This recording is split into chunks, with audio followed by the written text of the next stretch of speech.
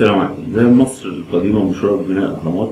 بلاد ما بين النهرين كان فيها هياكل ضخمة اللي هي الزجاجات وهي عبارة عن أبنية ضخمة مكونة من الطوب عبارة عن منصات مرتفعة ذات مستويات متعاقبة الانحدار ويقال إنها كانت تحتوي على أضرحة مخصصة لعبادة الآلهة وأماكن مخصصة لمعيشة الكهان.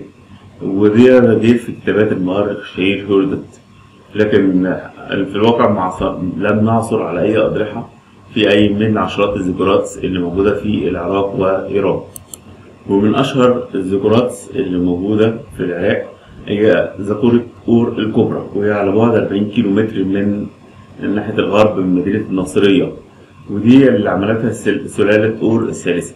وبتكون الزاكورة من ثلاث مستويات من المساطم ارتفاعها ما بين 20 ل 30 متر. وفي طبعا سلالم كبيرة بتؤدي لكل مستوى وطول المبنى المستطيل الضخم نحو 64 متر وعرضه 45 متر.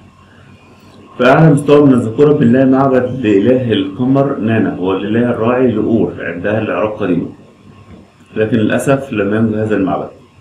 والعلماء أيضا وجدوا بعض من الطوب الأزرق اللامع واللي اعتقد إنه كان جزء من الواجهة المزخرفة للذكورة في منبع والعلماء وجدوا ثقوب في الطاقة الخارجية لمعبد الذكورة المفترض إن الثقوب دي كانت بتسمح بتوفر المياه من قلب المعبد ولقوا مصارف تم بناءها في وساطة الذكورة لتصريف مياه الأمطار الشتوية.